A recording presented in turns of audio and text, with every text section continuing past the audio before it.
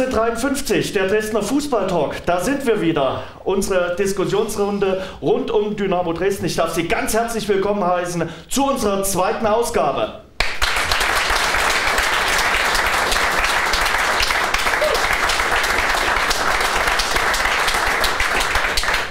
Ja, die Frage ist, quo vadis Dynamo Dresden? Die Situation um die SGD darf man schon, ja, aktuell als die große Schwester einer Krise bezeichnen. Aus acht Drittligaspielen gab es sieben Niederlagen. Deshalb wollen wir heute mit einer legendären Runde diskutieren. Wir haben insgesamt 257 Jahre Fußballerfahrung hier am Tisch sitzen, verteilt auf vier Personen. Und die möchte ich Ihnen jetzt vorstellen. Da ist zum einen einer, der hat sowohl in Ost als auch in West den Pokal gewonnen. Hat gesagt, ich bin als Trainer immer sehr gern aufgrund meiner Fußballbegeisterung nach Dresden gefahren. Aktuell ist er Präsidiumsmitglied bei Borussia Mönchengladbach, unter anderem die Borussia, die zuletzt den FC Bayern mit 2 zu 0 bezwungen hat und Kolumnist bei der Zeitschrift Elf Freunde. Herzlich willkommen, Hans Mayer.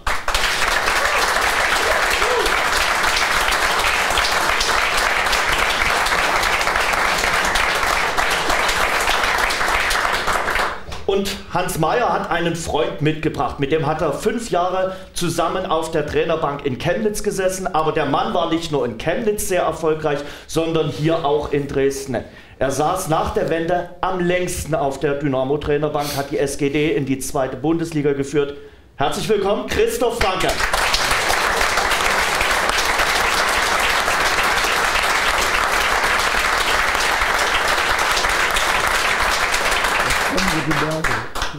Ein Torjäger von seinem Schlag könnte Dynamo momentan richtig gut gebrauchen. Er war der Torjäger für Dynamo in der DDR Oberliga, war anschließend Trainer und ist jetzt dafür verantwortlich, dass Dynamo neue Spieler scoutet, Nachwuchsspieler und Neuzugänge. Herzlich willkommen, Hansi Kreischer.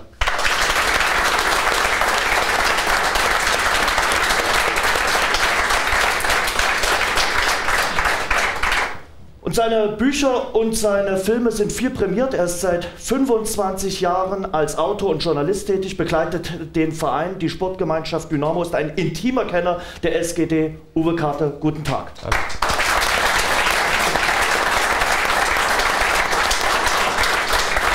Das sind die Gäste bei 1953 der Dresdner Fußballtalk.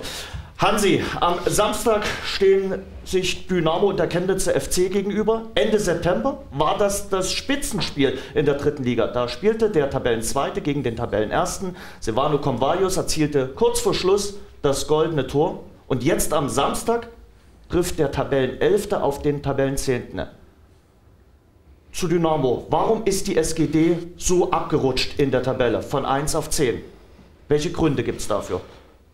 Ja, das ist nicht ganz so einfach, aber äh, wenn man zurückdenkt, circa ein halbe Jahr, halbes Jahr, dann hat man äh, sich überlegt bzw. gedacht, wie, wie geht es mit Dynamo Dresden weiter? Man ist wieder mal dort, wo man eigentlich nicht hingehört und äh, man ist äh, jetzt gefordert, eine neue Mannschaft aufzubauen, die äh, möglichst schnell zusammenfindet, wo man sich auch das Ziel gestellt hat, äh, dort dem Trainer Zeit zu lassen, dass man als Nahziel äh, so einen Zwei-Jahres-Plan aufgestellt hat, um eben, wie gesagt, eine Mannschaft zu formieren, die in der dritten Liga mithalten kann, sich formiert und wo man dann im, für, das, für das zweite Jahr eben sukzessive noch ein paar Spieler äh, nachholt bzw. ergänzt. Und dass dann äh, die Mannschaft so schnell auch Fuß gefasst hat und äh, dann auch sagen wir mal, eine Euphorie ausgelöst hat. Das war ja nicht vorhersehbar. Und äh, das zeigt aber auch, was im Fußball möglich ist.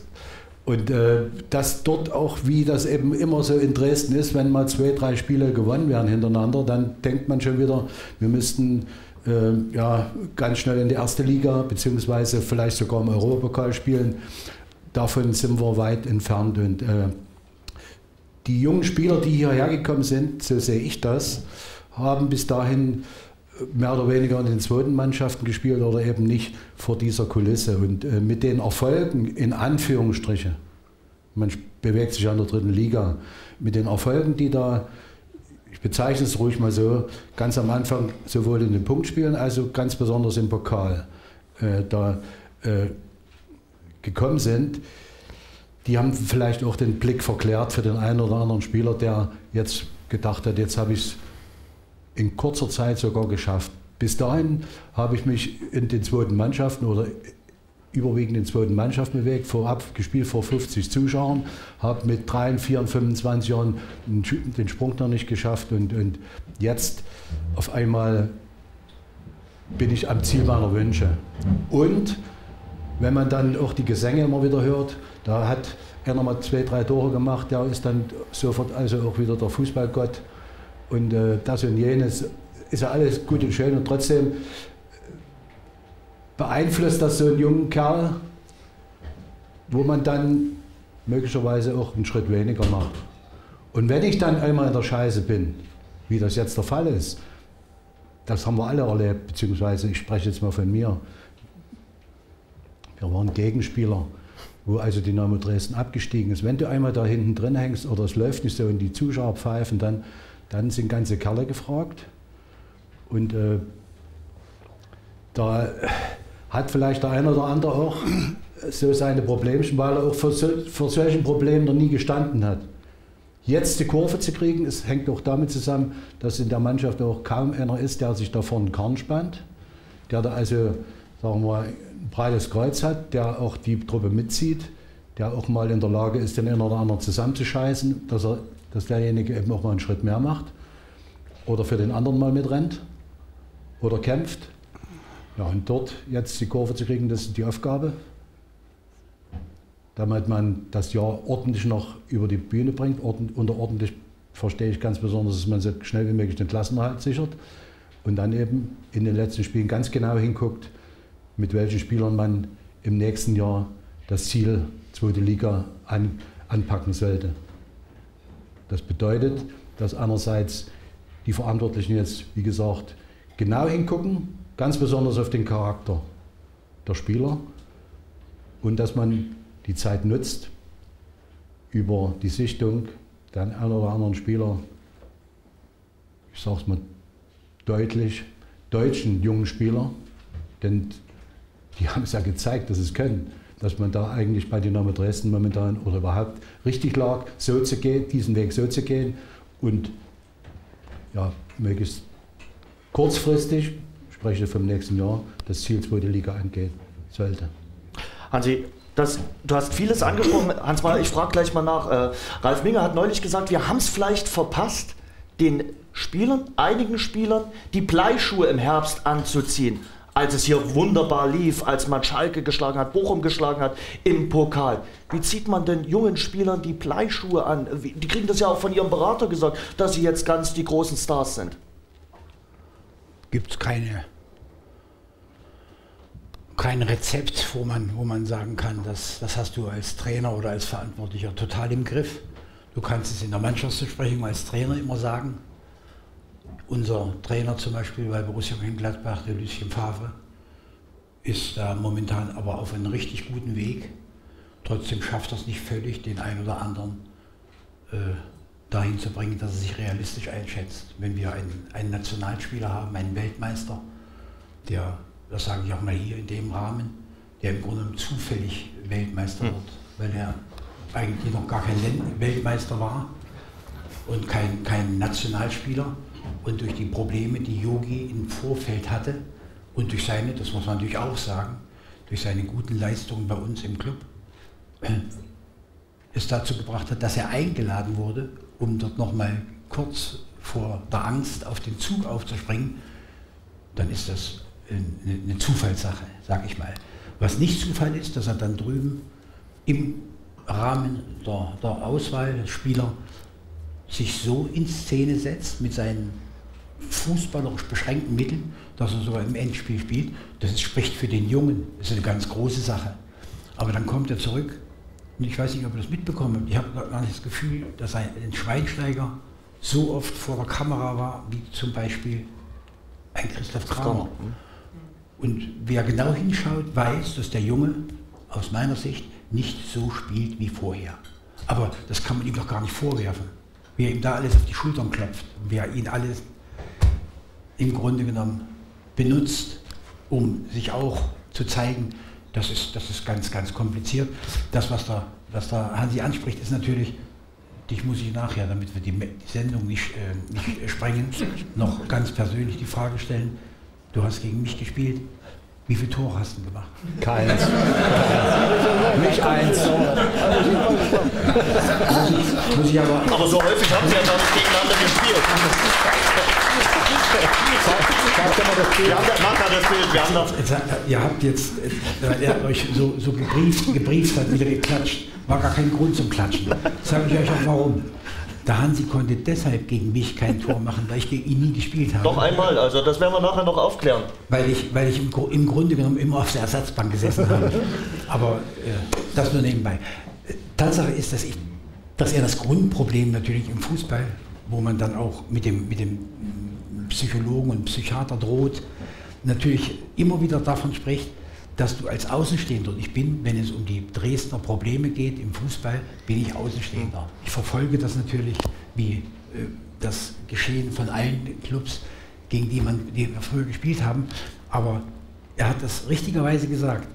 Du arbeitest als Trainer, arbeitest mit ein bisschen Glück, aber auch mit Können und machst mit einem Kader, das könnt ihr nicht einschätzen, das kann ich auch nicht einschätzen, mit einem Kader der wahrscheinlich überhaupt nichts ganz oben zu suchen hat, bist auf einmal ganz oben. Und meine, meine äh, äh, Schwiegermutter hat immer gesagt, ein jeder Wunsch ist er erfüllt, kriegt augenblicklich Junge. Und da, da trifft er natürlich den Kern. Der, der, der Fan akzeptiert dann den vierten, fünften Platz, der ja immer auch mit zwei, drei Niederlagen verbunden ist, akzeptiert er nicht, du akzeptierst es ja als Trainer oder als, als äh, Funktionär, als Manager ja auch nicht gerne. Aber Tatsache ist, dass man eigentlich wissen müsste, was habt ihr eigentlich euren Leuten oder mit euren Leuten zusammen draußen für eine Zielstellung für dieses Jahr erarbeitet gehabt, Hansi? Was, was war, war dort Aufstieg? Denn einstelliger dann, Tabellenplatz. Einstelliger, aber wie weit seid ihr weg vom Einstelligen momentan? Wie weit? Ein eigentlich, eigentlich nicht so weit, weil du brauchst bloß mal zwei, das, drei das, Spiele gewinnen bis in der Liga hat, mit vorne dabei. Aber das, aber das aber meine ich doch. Eure eigene überraschend starke Leistung am Anfang hat euch in eine Situation gebracht, wo ringsherum nur Unzufriedenheit ist. Ich will das mal nur, nur vielleicht mal noch als, als Abschluss äh, bringen.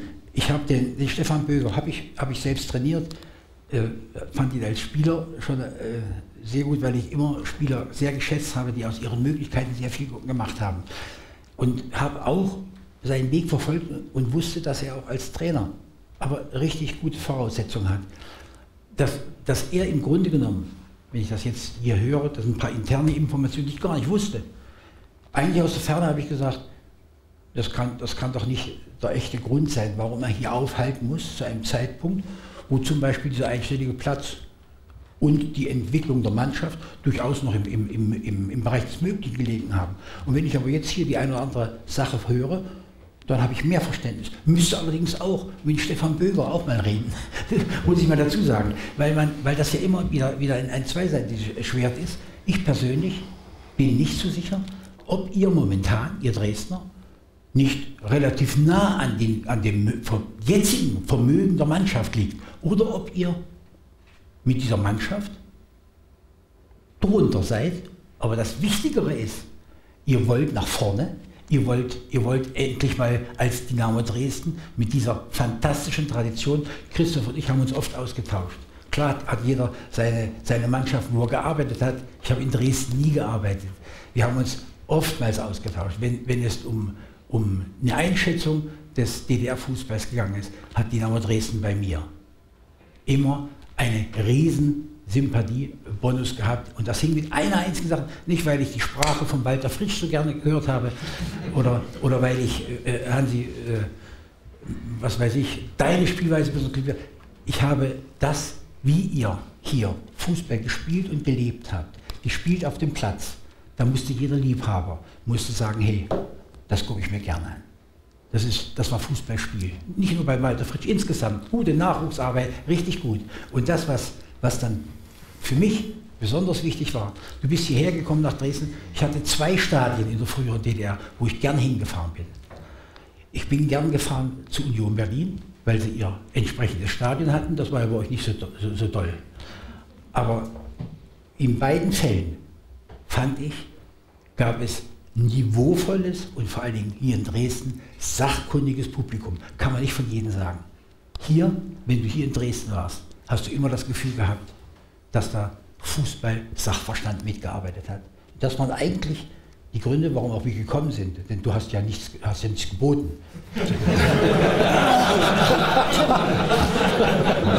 hast, hast auch Dresden. Ich kann nicht Dresden bieten. Das, das, Schlimme ist, dass er vorher gelogen hat. Er hat gesagt, er hätte kein Geld. Das stimmt ja nicht. Okay. Ich will natürlich auch die, die anderen Gesprächspartner heute mal in die Runde reinnehmen, sonst äh, wird es ein bisschen eintönig. Äh, Uwe, äh, der Hans Mayer hat gerade über Stefan Böger gesprochen. Da will ich noch mal anknüpfen. Welche Hauptfehler hat er denn jetzt gemacht, also aus deiner Sicht? Was war denn der Hauptfehler, der dann dazu führte, dass er jetzt nicht mehr Trainer der SGD ist. Der Hauptfehler ist ja so ein bisschen schwierig. Da wird ja jeder vielleicht was anderes wahrnehmen. Man muss vielleicht mal kurz das, was der Hans Mayer gesagt hat, stimmt doch. Und wenn man das übersetzt für die spezielle Situation in Dresden, kam man aus einer Zweitligasaison, wo man in 34 Spielen nur fünfmal gewonnen hat. Das heißt, das ganze Umfeld, das ganze Stadion war ausgedörrt. So, und jetzt passiert das, was passiert ist, ein bombastischer Saisonstart. Und natürlich haben alle ja geschunkelt. Und da kann sich ja jeder selber mal hinterfragen, wie es ihm so ging. Und das war ja toll. Und für das äh, Publikum vielleicht auch ein Segen nach der schwierigen Zweitligasaison endlich wieder das Gefühl zu haben, gute Stimmung, guter Fußball, welcher Reihenfolge auch immer. So, und in der jetzigen Wahrnehmung ist der Stefan Böger immer mehr zum Einzelkämpfer geworden. Also er war dann letztlich in gewisser Weise isoliert. Da gab es die Diskussion um, um den Fitnesstrainer, um den Mysterium. Sascha Lenze noch dazu. Ähm, und natürlich erschien der Eindruck, dass die Spieler zunehmend von dem Fitnesszustand, den sie im Sommer vielleicht hatten, vielleicht auch weil es so gut lief, aber auch das ist ja wieder eine Frage, was ist Ursache, was ist Wirkung, sich ein Stück weit oder zunehmend entfernt hatten. So, und da ist natürlich die Frage, ähm, hm, nicht alle Spieler sehen zum Beispiel so, dass sie nicht fit waren. Wir haben gesagt, nee, wir haben da nicht das Problem, obwohl die Ergebnisse äh, auch aus Sicht der Spieler im Herbst dann zunehmend dagegen sprachen. Und Peter Nemeth jetzt, äh, der Trainereffekt ist ja nicht spürbar, das muss man ja ganz nee. so deutlich sagen. Äh, ist er aktuell nur der sportliche, in Anführungszeichen, Insolvenzverwalter oder kann er die Probleme gar nicht so schnell lösen? Also ich glaube, der Peter Nemeth ist ein solider Arbeiter. Ich glaube, ähm, er hat natürlich gerade das Problem in einer Zeit, wo man vielleicht reden muss, vielleicht auch ähm, nicht zu viel reden darf. Das ist ja immer die Frage, um da vielleicht irgendwelche Blockaden zu, zu lösen. Da weiß ich gar nicht, ob er im Prinzip ähm, die Rolle spielen kann. Ja. Die Frage ist, wer, wer, wer hilft ihm? Also äh, wie hat der Ralf Minge sozusagen die Mannschaft unterstützen können im Herbst? Welche Rolle spielt er jetzt? Ähm, das, das, muss man natürlich dann auch mal beurteilen. Und äh, welche Chancen gibt es denn sozusagen im Februar am Fitnesszustand der Mannschaft groß was zu verändern? Also da wissen aber die Dreier neben mir viel, viel, viel besser Bescheid, dass das also dauert. Christoph Franke, der Trainer war jetzt mit der Mannschaft in der letzten Woche vier Tage in einem Trainingslager in Thüringen in Teistungen, mitten in der Saison.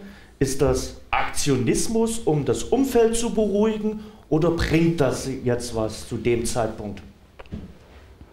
Also von, von der Fitness her denke ich, ist das am Ende der Saison, wir haben ja nur noch, glaube ich, acht Spiele, nicht so sehr viel bringt, aber jetzt mal raus aus Dresden, wo ja sag mal, die Presse schon unzufrieden ist, die Zuschauer unzufrieden und gemeinsam äh, sich mal zurückziehen, das kann schon was bringen. Also das ist durchaus sinnvoll, mal abends zusammen sich zu setzen, möglicherweise auch mal Bier zu trinken, ein bisschen zu grillen.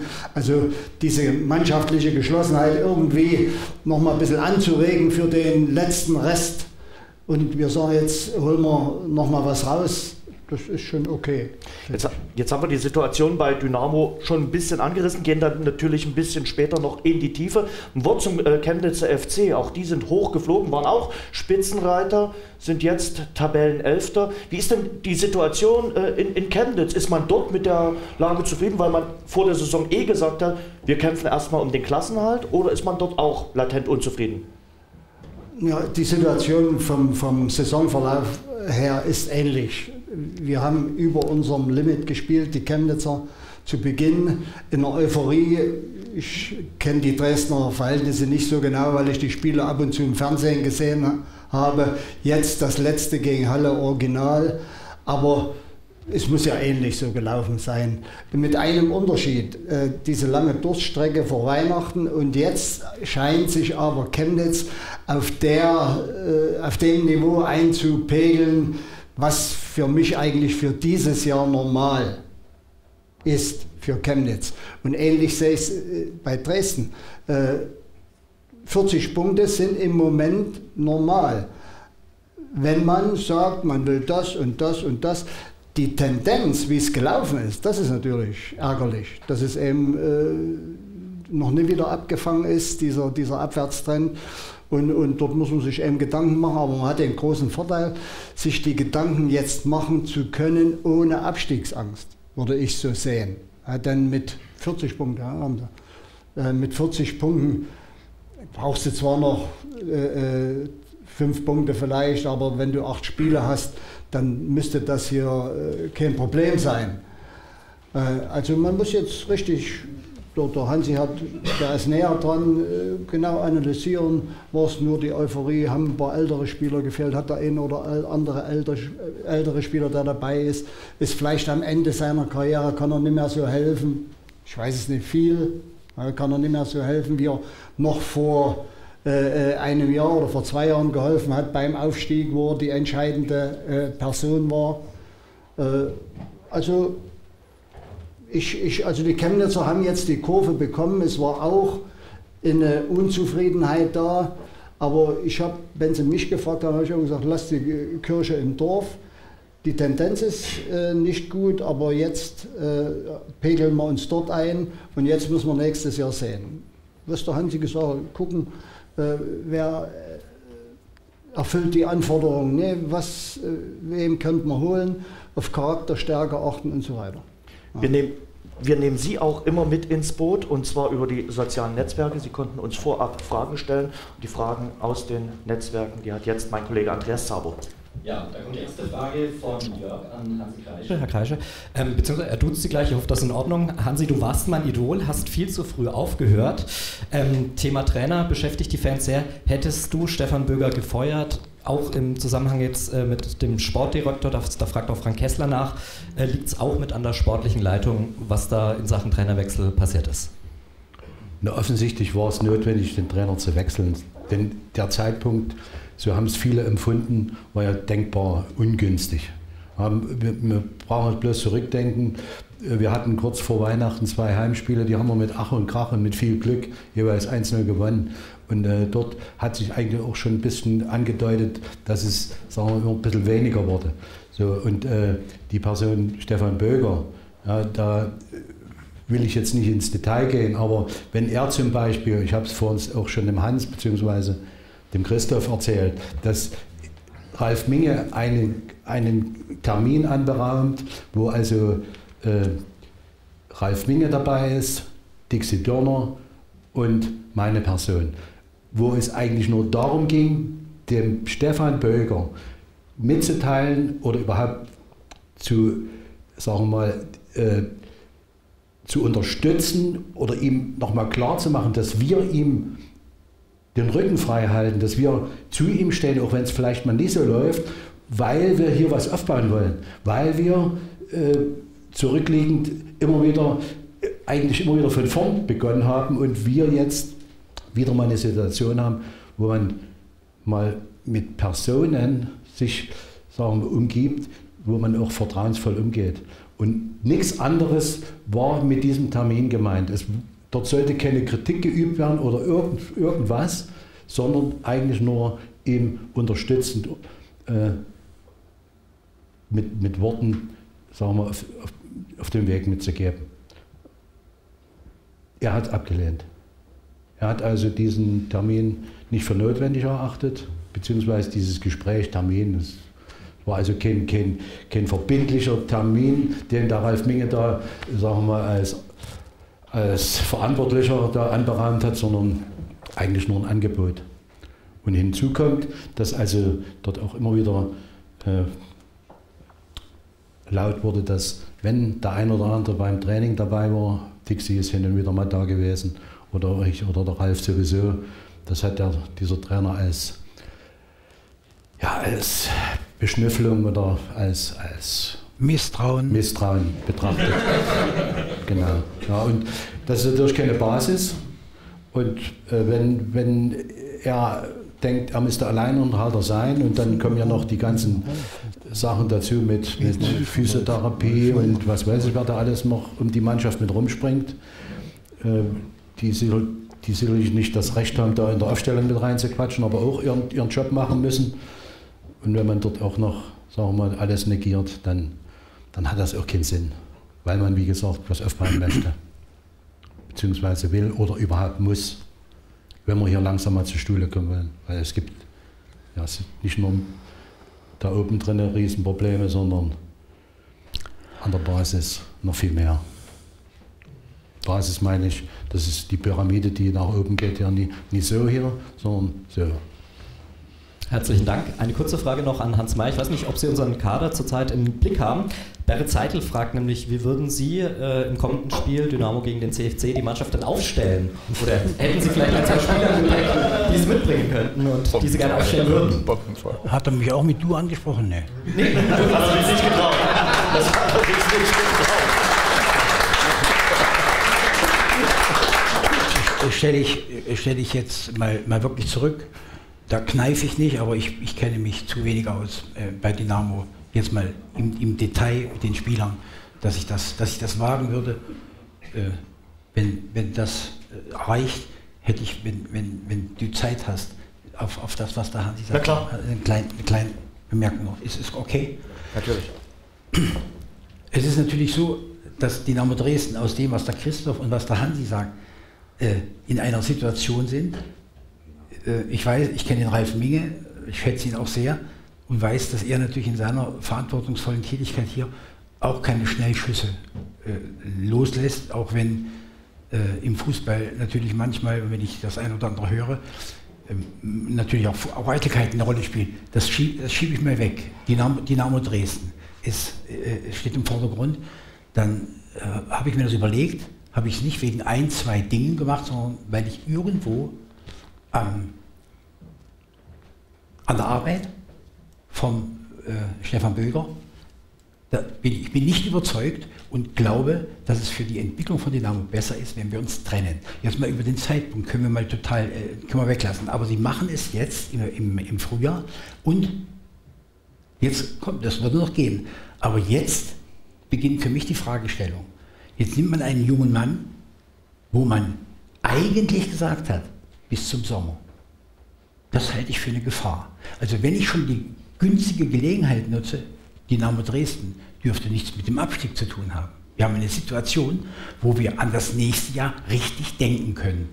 Wenn so ein Schritt gemacht wird, dann noch unter dem Gesichtspunkt, da muss ein Trainer mit her, der zusammen mit dem Ralf diese neue Mannschaft aufbaut und diesen, diesen ganzen Fans eine richtige eine richtige Linie vorgibt. Das haben wir vor.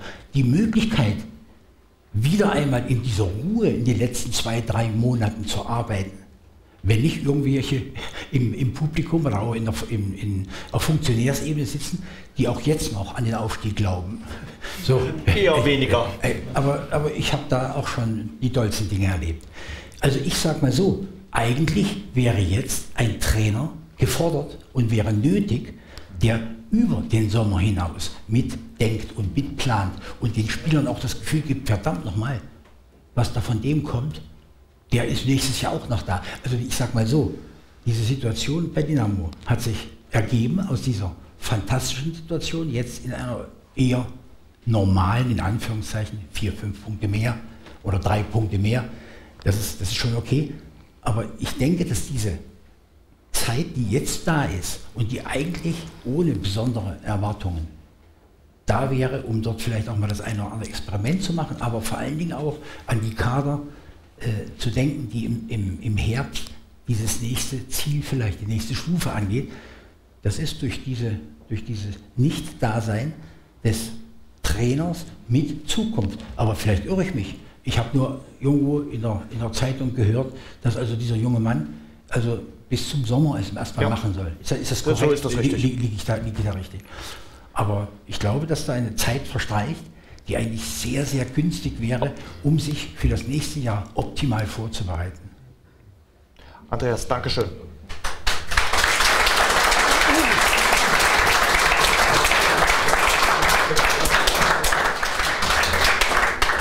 Uwe, wir haben die Trainer Thematik gerade angesprochen haben, so ein bisschen auch über Stefan Böger gesprochen, wollen jetzt mal äh, vorausschauen. Äh, auf den Sommer auch schon, da sieht es ja so danach aus, als wenn ein neuer Trainer gesucht wird. Ähm, warum gelingt es aber Dynamo grundsätzlich nicht, Konstanz auf der Trainerbank reinzubekommen? Wir haben hier jemanden sitzen, der es geschafft hat, der viereinhalb Jahre auf der Bank saß, aber ansonsten waren sie immer schnell weg. Ja, die Frage ist ja, warum der Christoph äh, viereinhalb Jahre auf der das Bank gesessen hat. Das werden wir ihn gleich fragen. Genau so ist es. weil ich glaube, weil er hat ganz gute Bedingungen gehabt. Er hatte damals ja die Bedingung gestellt, der Co-Trainer muss ein Mann seines Vertrauens sein. Er braucht an seiner Seite jemanden, der sich um die Finanzen kümmert. Das war der Sigi Menz. Und das waren schon mal viel bessere Voraussetzungen als vielleicht der eine oder andere, der, glaube ich, 30 Dynamo-Trainer seit der Wende hatte. Jena ist, glaube ich, Spitzenreiter mit 36 Trainern seit der Wende. Von wem sprichst du jetzt? Von Jena. Jena. 36. 36 Trainer. Ja, die wollten schon immer hoch hinaus. die sind noch eine Klasse tiefer. Christoph Franke, wie schafft man das? Äh, vier Jahre und 198 Tage in Dresden nicht nur zu arbeiten, sondern auch erfolgreich zu arbeiten. Ja, du sagst ja, man muss Erfolg haben. Aber es, es war ja eigentlich zu Beginn mal abgesehen von den Finanzen, die im Argen lagen, dort äh, hat der Herr Köster und er mir gleich gesagt, also wir sind pleite. Und dann habe ich gesagt, wir machen erstmal los. Und dann werden wir weitersehen. Ja, äh, also da ging nicht mehr viel falsch zu machen, muss ich mal sagen, weil Dynamo Dresden war absolut am Boden, war unter ihren Erwartungen, ich glaube Fünfter mit 20 Punkten Rückstand auf dem ersten. Die Magdeburger waren das, glaube ich, die aufgestiegen sind. Äh, 951 Zuschauer in ein Spiel gegen Nordhausen, was ich mir dann angeguckt habe und so weiter. Also man konnte eigentlich hierher kommen und es musste besser werden. Das war von vornherein klar. Ja. Und ja, und wir haben eben dann, es erreicht erstmal, denke ich, braucht der Trainer um sich herum zwei, drei Leute, zu denen er auch Vertrauen hat. Da habe ich den Köhlei mitgebracht, den ich von der Altersklasse 13 an kenne, der dort, als ich selber als Spieler aufgehört habe, äh, als erster Jahrgang, der erste Jahrgang war, den ich übernommen habe in der Altersklasse 13. Und von daher kenne ich ihn über die Männer, wo der Hans dann auch kennengelernt hat. Äh, und da war es für mich logisch, Mann deines Vertrauens. Ist, er hatte das Sportstudium äh, gemacht zu DDR-Zeiten noch und so weiter. Also den bringst du mit. Und ich hatte in Sigi Menz äh, in Chemnitz kennengelernt. Ich habe ja die Story schon ein paar Mal erzählt. Ich habe sie gerade noch mal in Uwe erzählt. Das war ein Mann, der finanziell für den Club gearbeitet habe. Und das kommt darin zum Ausdruck, ich will mal erzählen, was der Sven Köhler als Spieler sagt, er, du gehst zum Sigi rein in Verhandlungen, gehst rein und nimmst dir eine gewisse Summe vor, sagst, also unter die Summe gehe ich nicht. Da höre ich auf hier, um eben so ein Druck auf. Du kommst wieder raus, hast weniger, aber hast ein gutes Gefühl.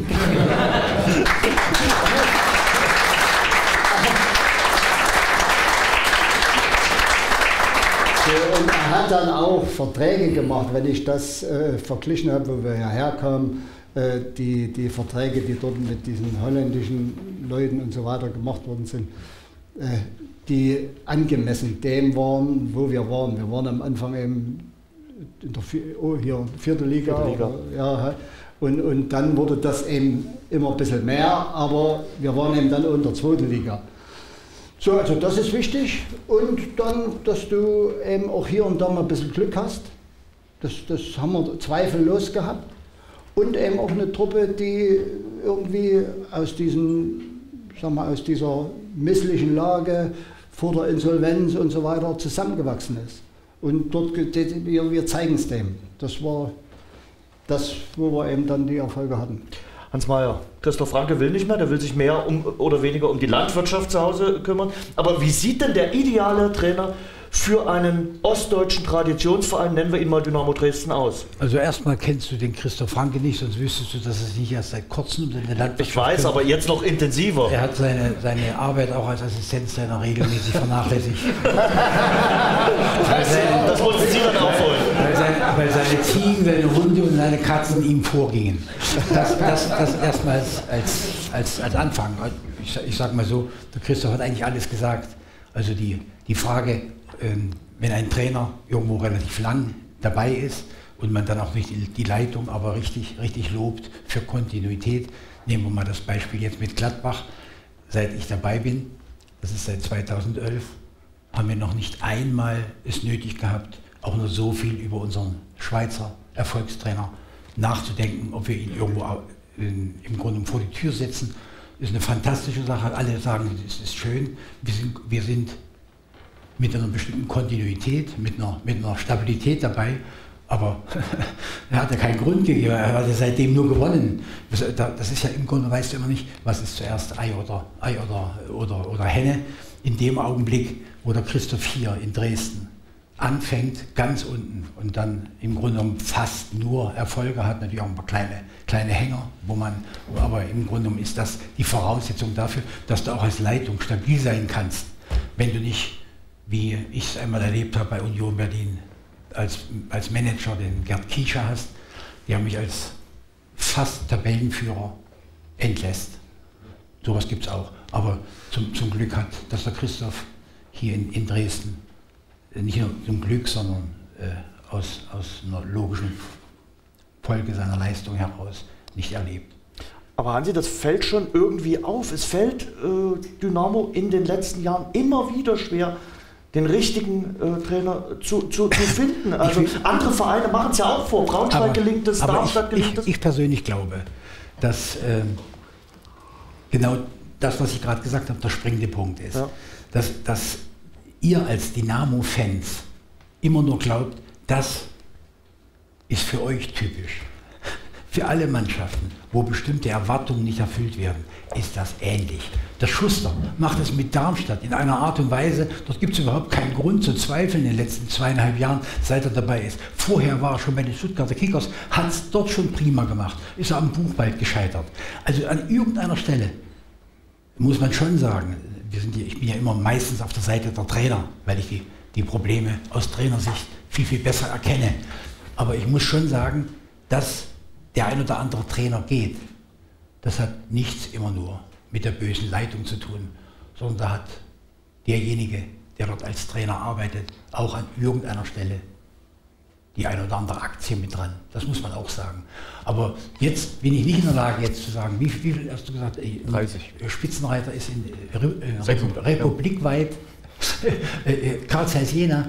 Und wie viel habt ihr? 30? Aber das ist auch interessant für euch.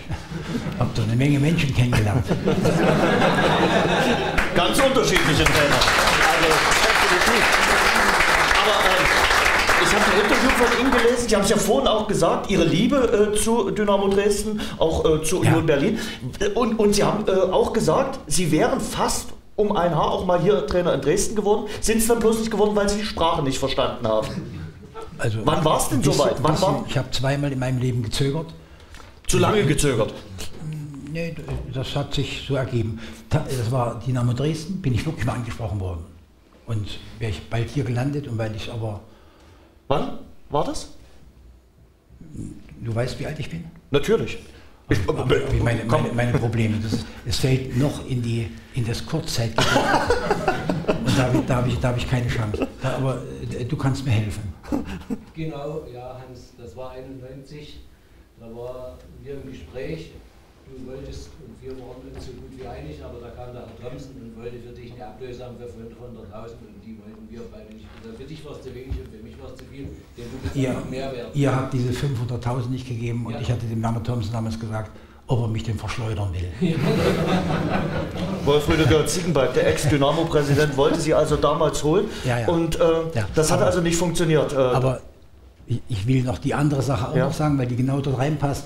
Und dann bin ich äh, im, im Herbst 1995 bin ich von Twente Enschede, von den Holländern angesprochen worden. Und beide Dinge lagen auf derselben Ebene, die, die Sprachprobleme. Aber als der, als der mir bei Twente, bei Twente Enschede gesagt hat, dass Twente, also Enschede, praktisch an der Grenze liegt und sich seit Jahrzehnten mit Butter und Käseschmuggel sich über Wasser halten, können sie alle Deutsch. War das kein Problem? Das Sächsische schon. Gut, aber Sie verstehen uns heute, also das äh, klappt ganz gut, oder? Du bist, du bist auch ein Zugezogener. Nein, ich bin wasch, Okay, echter okay, Dresdner. okay. Und den Hansi versteht man auch gut. Ähm, Hansi, warum ist es der SGD über die vergangenen zehn, wir haben die Franke-Ära ja angesprochen, 2004 ging es hoch mit ihm in die zweite Bundesliga. Warum ist, fünf Jahre hat man insgesamt dort gespielt, zwei unter Franke, dann jetzt nochmal zuletzt drei Jahre. Warum hat sich der Verein nie etablieren können, zumindest in der zweiten Bundesliga? Tja, wenn wir das wüssten, da könnten wir jetzt handeln und sagen, dass, dass der oder der Trainer gibt uns die Garantie.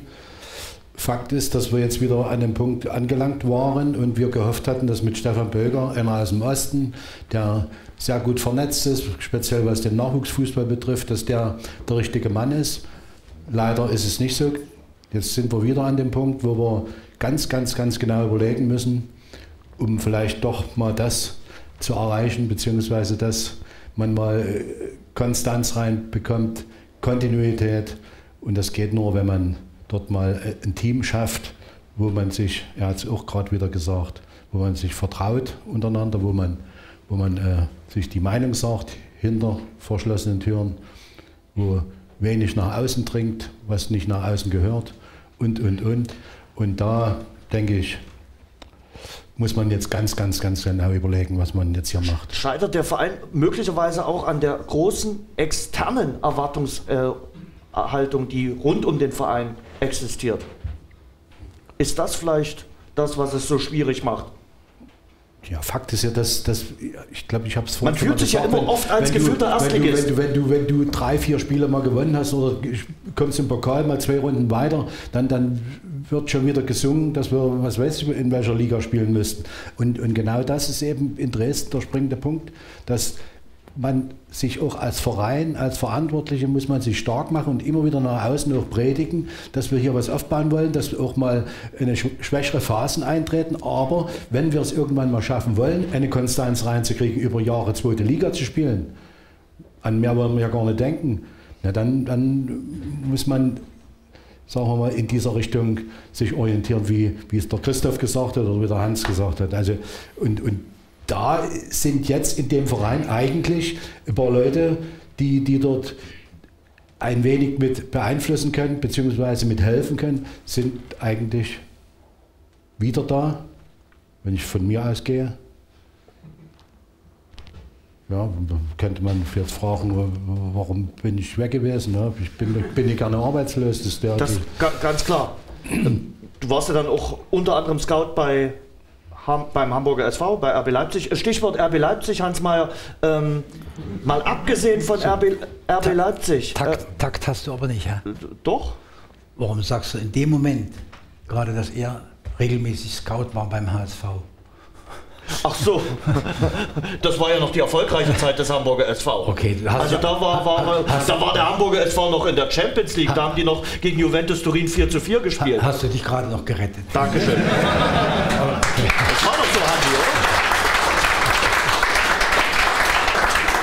Genau das ist der springende Punkt. Wenn man den HSV anguckt, ja, das hat jetzt mit Dynamo Dresden nicht, aber es gibt doch Parallelen. Ja, Sind wir der, der ostdeutsche HSV?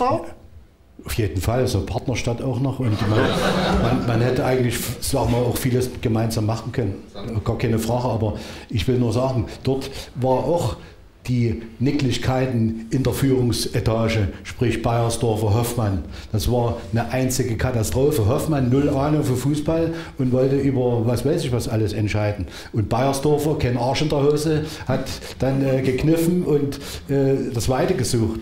Ja, und was ist mit dem Verein passiert? Es geht bergab. Das waren aber jetzt schöne Grüße nach, nach, Hamburg. Ja, ne, ja ne, sicher, weil man dort bessere Zeiten erlebt hat.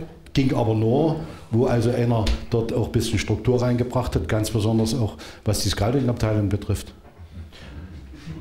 Wo man auch die richtigen Spieler noch geholt hat, wo man Spieler geholt hat, die eine Million gekostet haben und die für 10, 15 Millionen wieder verkauft wurden.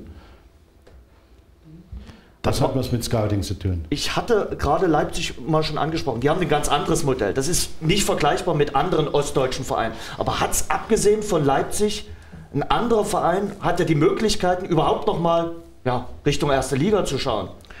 Ja, also erstmal ist es doch schon erfreulich, dass nicht nach, nach meiner Prognose in, in, im, im bezahlten, damals bezahlter Fußball, dritte Liga ist auch bezahlter Fußball mittlerweile, aber damals war, war für mich zweite und erste Liga bezahlt, dass da die Ostmannschaften aber richtig drum fighten müssen, drin zu bleiben. Da haben wir ja immerhin mit, mit Union Berlin und, und auch, auch, auch Aue, aber, aber Mannschaften dabei, jetzt mit, mit, mit RB Leipzig, die natürlich mit uns nur indirekt was, nur als Stadt was zu tun haben.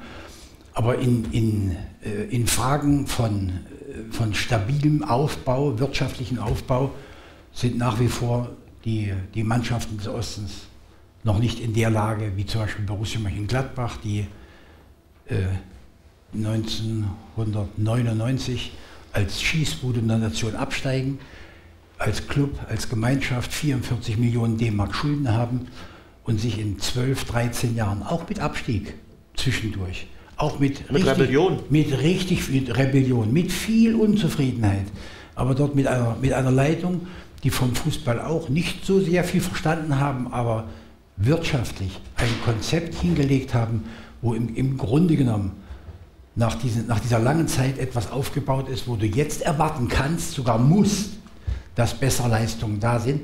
Und da sind wir momentan angelangt. Das ist aber sehr, sehr kompliziert. Dass, dass dort in diesem, in diesem Ost-Territorium, äh, wo alle Mannschaften, der Fußball, Geld schießt keine Tore, aber dort, wo, wo Geld da ist und du hast genauso viel wie Bayern München, dann wird die Mannschaft vorne liegen, die besser arbeitet. Das müssen wir schon sagen. Und im Osten ist nicht schlecht gearbeitet worden. Aue ist für mich überragend gearbeitet worden. In Cottbus Eduard Geier ist überragend gearbeitet worden. Aber unterm Strich wird dort eine Grenze gesetzt sein. Und dass dort in einer Stadt wie Leipzig, wo Chemieanhänger und Lokanhänger, natürlich auch die entsprechenden Funktionäre, nicht in der Lage waren, ein paar, ein paar Schwellen, ein paar Hürden zu überspringen, wo es, wo es um, um Gefühle geht und um äh, Fan. Ich, ich, ich, werde nie ein Fan sein, ich bin, weil ich zu rationell bin, dass sie es nicht geschafft haben, die Wirtschaftskraft von Leipzig zumindest zu konzentrieren auf eine Mannschaft, dass dort einer einspringt und das nutzt, der im Grunde die Investroine, dieses, dieses WM-Stadion ausnutzt und dort relativ schneller Zeit, obwohl die, die ganze Republik die Schnauzen zerfetzen, im Grunde genommen in einer Lage befinden, dass sie, dass sie momentan oben anklopfen, dass sie ganz sicher im nächsten Jahr wieder da vorne, ganz vorne eine Rolle mitspielen. Aber jetzt, das ist für mich das Wichtigste, im, im Stadion, in der zweiten Liga aber mal ganz schnell 25.000, 30.000 Zuschauer haben. Ist doch herrlich. Also diese 30.000 gehen nicht dorthin, um ihren Protest für, für die Art und Weise, wie die Punkte geholt werden, zu demonstrieren, sondern weil sie endlich nach diesen schönen Zeiten vom Uli Tomal, wo er mit, mit Lok Leipzig äh, im Europapokalfinale in Athen gestanden hat, wieder ordentlich im Fußball sehen wollen. Also ich sag mal, mir wäre es auch lieber, es hätte sich irgendein so, so, so ein Geldscheißer äh, für Dynamo Dresden gefunden, Wäre mir lieber gewesen. Aber ich finde, in einer, in, einem, in einer Gesellschaft, wo wir ja nicht unter dem, unter dem Motto leben, Friede, Freude, Eierkuchen und jeder ist des anderen Freund, sondern wo wir in der Marktwirtschaft leben, halte ich es legitim. Und wir, der Verband, muss sich nur um eines kümmern. und sich schützen davor, dass diese Mannschaft, die in der zweiten Liga oder vielleicht demnächst erste Liga spielt, nicht zwischenzeitlich deswegen Insolvenz geht, weil der, der Mann, der oben das Geld gibt, sich rausmacht. Das ist natürlich eine Sache, das ist eine organisatorische Frage. Die andere Frage, ob diese Mannschaft ohne Tradition Erfolg hat, interessiert momentan nur die 30.000, die jetzt dort reingehen. Alle anderen sagen das auch mit einem gewissen, mit einem gewissen Maß an Neid, in Anführungszeichen, dass ihre Lieblingsmannschaft es unter so viel schwereren Bedingungen oder mit so viel schwereren Bedingungen zu tun hat, um sich da in, in entsprechende Szene zu setzen. Ich finde an diesem, an diesem Projekt von bei Hopp sowieso habe ich noch eine andere Meinung, denn dieser Mann ist Milliardär, hat nicht geklaut, hat nicht geerbt, hat richtig, richtig in diesem System die Möglichkeiten ausgenutzt, um sich, um sich dort entsprechend in Szene zu setzen. Und was er aber im gesamten Bereich um Hoffenheim, Hoffen, warst du schon mal in Hoffenheim? Ja. Um Hoffen, warst du schon mal in Hoffenheim? was, was, er dort gemacht hat und, und was er in, in, Mannheim macht, auch in anderen Sportarten, was ja. er im Nachwuchsbereich macht, was er dort investiert, was er offensichtlich seinem überflüssigen Geld investiert, um andere mit partizipieren. Finde ich richtig gut, finde ich richtig prima. Besser als ähm, dieses Geld wie Donald Duck. Kennst du diese? Auch die kenne ich. Und der mit, der mit, mit, mit, mit der, mit der Planierhaube sein, sein Geld planiert, dass er das hortet. Das finde ich besser. Es, wir können uns immer irgendwas Idealeres vorstellen. Aber mir ist das immer noch lieber, als wenn ich weiß, da ist irgendein ein russischer oder ukrainischer Oligarch, der auf ganz dubiose Art und Weise an seine Milliarden rangekommen sind, an, an, das russische Volkseigentum, was bei uns auch verschwunden ist. Aber den, den, den großen Geldgeber wird es so in Dresden nicht geben, Uwe, nach Lage der Dinge. Nee. Das Leipziger Erfolgsmodell ist in äh, Dresden nicht zu adaptieren. Das sind ja die ist beiden Extrempunkte. Richtig, hier, ne? es ist, äh, die, heißt es vielleicht abgewandelt von Gladbach oder äh, Braunschweig lernen, heißt Siegen lernen?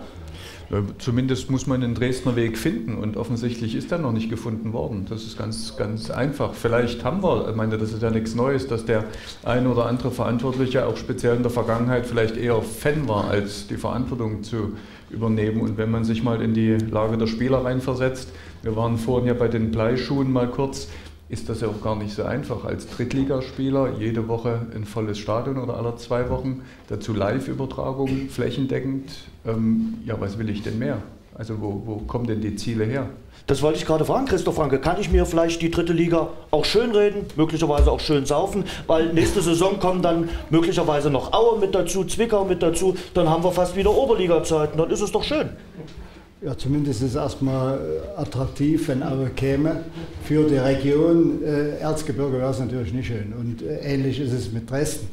Äh, ich denke auch, dass dieser Anspruch, den die Dresdner Fans haben, äh, daraus resultiert, dass hier eben schon mal zu anderen Zeiten, zu DDR-Zeiten, Spitzenfußball geboten worden ist. Die äh, haben hier gegen Bayern München gespielt und haben gegen Belgrad, das war nur gerade das letzte das Spiel, aber eben genügend gegen Leeds und so weiter. Also genügend Spiele im europäischen Maßstab gemacht und deswegen kommt auch dieser Anspruch, dass die, die Fans eben immer mehr wollen. Aber, aber das ist ja und Realität liegen ja... Das, das, ist ja auch der Anspruch des Leistungssports. Ja. Dass ich sage, hey, ich mache deswegen Leistungssport, weil ich die bestmöglichste Leistung haben will. Und äh, ich denke schon, dass für Dynamo das Ziel sein muss, also nicht mindestens, sondern die zweite Liga in die zweite Liga zu kommen. Aber das gleiche Ziel hat Chemnitz auch. Aber der Unterschied ist, Dresden hat 25.000 Zuschauer und Chemnitz 5.000. Die kommen aber dann Wenn jetzt das neue Stadion in Chemnitz ja. kommt, dann wird sicher sich das auch, das habe ich in Halle erlebt, nochmal verdoppeln oder verdreifachen, aber das ist Ziel des Leistungssports, immer besser zu werden. Ich kann nur manchmal nicht verstehen, wenn gesagt wird, ja, wir steigen zu zeitig auf oder so. Nee, dann nehme ich, dann nehme ich eben in, in dieser höheren Spielklasse dieses einmalige Erlebnis, dort mitspielen zu dürfen mit und meinen Fans präsentiere ich das, dass ich natürlich dann gewisse Abstriche machen muss, wenn ich eine Klasse höher spiele und von Finanzen her Probleme kriege, dort mitzuhalten Denn wenn, wenn ich auch dort vom Fernsehen ist doppelt oder dreifach gehe, bin ich immer wieder unten in der letzten äh, Position. Wie der Hans gesagt hat, die, die wirtschaftlichen Bedingungen sind eben nun mal hier in den neuen Bundesländern noch nicht so gut wie drüben. Aber es gibt auch drüben genügend Essen und so weiter. Clubs, die auch ihre Probleme haben. Das hat uns ja auch zum Beispiel das Beispiel Braunschweig gezeigt. Mit ihrem Erstliga-Jahr, da konnten sie sich gut konsolidieren, haben dann auch die ein oder anderen Euro in den Nachwuchs äh, gesteckt. Andreas Sabo, Zeit für Fragen aus den sozialen Netzwerken. Genau, und uns haben über Facebook auf der Dynamo Dresden Facebook-Seite und auch auf der Radio Dresden Facebook-Seite ganz, ganz viele User gefragt, Ulrike, Daniel, Kerstin, Herr Franke, könnten Sie sich irgendwann doch nochmal vorstellen, Trainer für Dynamo Dresden zu werden? Vielleicht auch im Nachwuchsbereich? Nee, ich habe mich entschieden, in diese andere Richtung der Landwirtschaft zu gehen. und, und äh, das würde auch meine Frau gar nicht mehr zulassen. Ich habe schon Probleme, solche Termine wahrzunehmen, weil sie sagt, also weil sie sagt, hey, du wolltest das und jetzt möchtest du dich auch um deine Tiere kümmern. Sie hilft mir natürlich, aber äh, sie hat dort schon recht. Aber in diesen Minuten müssen wir uns um die Tiere jetzt keine Sorgen machen. Nee, nee, nee. äh, aber ich habe mich entschieden, jetzt das andere zu machen, was ich, diese Entscheidung musste ich schon einmal fällen. Da war ich aber 18 Jahre alt und gehst in die Richtung, machst du das Studium oder machst du das und dann hat sich das ergeben, weil ich eben gerne Fußball gespielt habe, dass ich eben die Fußballschiene nehme und jetzt machst du das andere nochmal. Im, Im Prinzip hole ich was nach. Dann haben wir noch äh, eine ähnliche Frage an Herrn Mayer. Ähm, könnten Sie sich nochmal vorstellen, einen Trainerposten zu übernehmen, am Ende sogar vielleicht, falls die Dresdner ein drittes Mal anklopfen? Das ist, ja, das ist ja noch verrückter, ich bin ja noch älter als er. Aber er hat keine Landwirtschaft. Aber Sie haben das Weltreisen für sich aber, erfunden. Ne? Du hast, du hast mir vorhin gesagt, als wir in, in der Vorbesprechung gewesen sind, du würdest für Dynamo Dresden auch deine, deine Karnickel schlachten.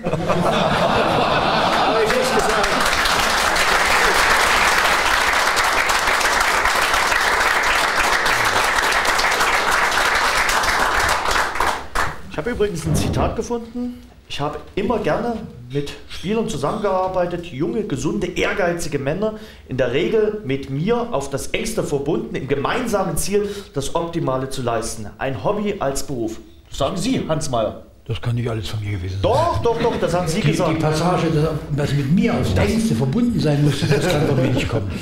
Äh, mal war immer, gefragt. War immer, für mich war immer wichtig, wichtiger als beim Christoph, weil der, ich hätte jetzt gesagt, wenn ich es gehört habe, das muss von Christoph ein Spruch gewesen sein. Denn von Christoph hat das, dass er zu den Spielern einen viel, viel persönlicheren Kontakt hatte als ich. Das hätte er auf ihn eher zugetroffen. Bei mir war immer, und zwar von, von, von meiner Geschichte her, ich habe einen einzigen Trainer kennengelernt, den Georg Buschner. Da war die Distanz zu den Spielern immer äh, sehr, sehr, sehr, sehr extrem. Und ich habe eigentlich so ein bisschen für mich mitgenommen, dass ohne eine bestimmte Distanz es nicht geht. Habe das vielleicht übertrieben? Christoph ist bei Spielern mit seinen Forderungen genauso gut durchgekommen wie ich und hat es auch mit etwas anderen, anderen Mitteln gemacht. Aber dass ich zu meinen Spielern immer so einen Kontakt hatte, mit dem einen oder anderen habe ich immer zur Weihnachtsfeier getanzt, ja, was sonst. Wer war ein guter Tänzer? Ja, normalerweise, das, was ja eigentlich ja. hier drin steckt in, dieser, in diesem Zitat ist, dass wenn du, wenn du als Trainer, und das muss aber nicht über diesen persönlichen Kontakt sein, und es muss auch nicht über, gar nicht über diese Kante kommen, dass ich mich beliebt mache. Ich muss zu den, zu den Spielern ein Verhältnis haben, wo, du, wo sie das Gefühl haben, du akzeptierst sie, ist manchmal schwer genug, und sie selbst äh, haben auch genügend, genügend Respekt und Achtung vor dem, der da vorne steht, der was erzählt, wenn, du, wenn da jemand den Mund aufmacht und es sind, sind schon von vornherein Zweifel da, kannst du eigentlich gehen. Nicht? Und das hat, das hat eigentlich bei den meisten Mannschaften gestimmt. Äh, viele, vor allen Dingen äh, unsere, unsere herrliche freie Presse hat dafür gesorgt, dass überall, wo ich gegangen bin, es auch äh, ganz klare Probleme gab zwischen Meier und den Spielern. Nichts stimmt weniger als das. Es ist eine ganze Menge, was, was, gestimmt, was stimmt, was man, was man aber an Negativen über mich geschrieben hat wo ich manchmal sogar sage, bin ich gut weggekommen. Aber, aber unterm, unterm Strich hat nichts weniger als das gestimmt. Ich habe, ich habe heute, und zwar von jeder Mannschaft, ob das in Chemnitz ist oder fragen Sie doch den einen oder anderen, wenn Sie ihm begegnen, oder in, in in Gladbach oder in, in, in Enschede in Holland kriege ich regelmäßig nicht nur zum Geburtstag meinen Anruf und wir, wir, haben, wir haben ganz engen Kontakt in Jena sowieso. Also das ist eigentlich ein Zeichen dafür, dass, ich, dass es in der Gesamtheit so schlecht, so schlecht nicht gelaufen ist. Definitiv. Äh, aber Christoph Franke, worauf ich auch nochmal mit raus wollte, hat sich der Trainerberuf in den letzten Jahren nicht auch geändert? Das Spiel ist immer noch das gleiche. Es rennen 22 Leute den Ball hinterher, aber muss der Trainer nicht heute auch mehr Psychologe noch sein, Kommunikator aufgrund der Medienwelt und äh, dann muss er sich vielleicht mit Beratern auseinandersetzen? Hat sich das nicht auch geändert vielleicht? Ja, sicher ist es so, dass man mit den Medien mehr zu tun hat als früher. Aber alles andere, denke ich, sollte man nicht verwissenschaftlichen. Fußball ist ein, ein, ein relativ einfaches Spiel, deswegen ist es auch so beliebt. Die meisten können es nachvollziehen. Äh, natürlich gibt es ein paar Dinge mit Trainingsmethodik und so weiter wo du sagst, das entwickelt sich alles. Der Fußball ist jetzt schneller geworden, die Räume sind enger und, und äh, man muss eine bessere Technik besitzen, um wirkungsvoll Fußball spielen zu können. Äh, aber alles andere, zu sehr zu verwissenschaftlichen, bin ich kein Freund davon, muss aber, ich sagen. Aber Uwe, äh, vielleicht. Also zum Beispiel äh, äh, wird jetzt mit Psychologen gearbeitet, zum Beispiel. Ja. Das wurde mir schon auch zu meiner Dresdner Zeit mal angetragen. Da habe ich gesagt, weil ich meine Erfahrung vorher als Spieler hatte, dort wurde das in Chemnitz mal äh, äh versucht äh, mit autogenem Training und solche Dinge.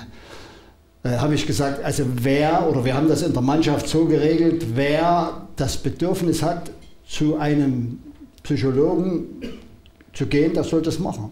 Aber wir als Mannschaft machen das nicht. Ja weil dort zu viele dabei sind, für die ist das Kiki und dann wird es Gekicher und Gelache und so weiter. Eine Sache, die durchaus sinnvoll sein kann, aber eben im individuellen Rahmen, denke ich.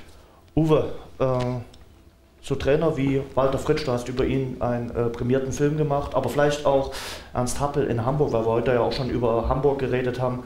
Wären solche Trainer in der heutigen Zeit, ist immer schwierig dann äh, das zu adaptieren, noch denkbar? Weil die haben ja auch ein gespaltenes Verhältnis zu den Medien.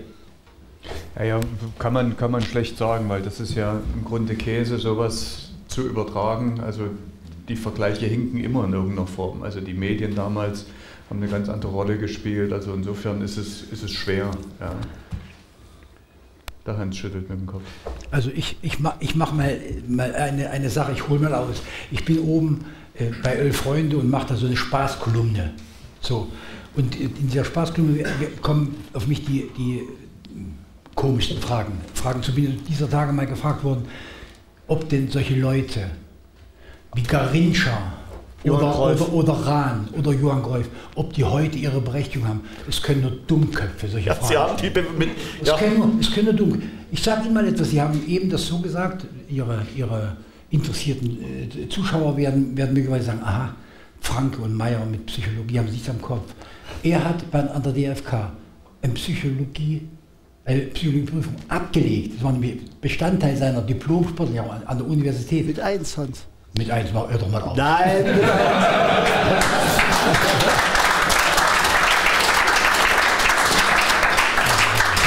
Kommt komm noch einer und sage, in der DDR gab es keine Korruption. Naja, aber abgesehen von dem Psychologen Hans Mayer muss der Trainer nicht heute viel mehr mit seinen Spielern sprechen. Ich sage Ihnen bloß mal, welche Grundgedanken da waren. Ja. Jetzt sage ich etwas ganz, ganz ähm, ähm, also, Trauriges. Ja. Der, der Vater vom Robert Enke, war bei mir, als ich als 27,5-Jähriger angefangen habe, bei Karl Zeiss Jena zu arbeiten, war der Dirk Enke, der Vater vom Robert, war bei mir zweieinhalb Jahre als Psychologe mit dabei bei Karl Zeiss Jena. Ich habe ihn gekannt, er war Leistungssportler, er war Mittelstreckler, ich habe ihn gekannt persönlich. Ich wusste, dass er für den Fußball sich unheimlich interessiert, aber auch einarbeitet fachlich. Er hat nach zweieinhalb Jahren, ist er zu mir gekommen sagt, Hans, ein kluger Junge, erinnert er sich aber sehr viel Mühe. Es hat keinen Sinn. Ich kann das, was du mit der Mannschaft machst, als Außenstehender nicht so befruchten, dass es dir hilft. Habe ich die gleiche Meinung wie er? Wenn jemand psychisch labil ist, da weiß man nicht die Grenze. Ist das eine normale Labilität oder ist es auch eine Krankheit? Wir, ihr wisst das möglicherweise, äh, unsere unser, unser herrliche Informationsblatt, die Bild, hat irgendwo mal geschrieben, es gibt in Deutschland viereinhalb Millionen äh, manisch-depressive Menschen und gehen aber gleich davon aus, die Hälfte ist noch gar nicht genannt, das sind die Anonymen, die sich nicht getrauen, zum Arzt zu gehen.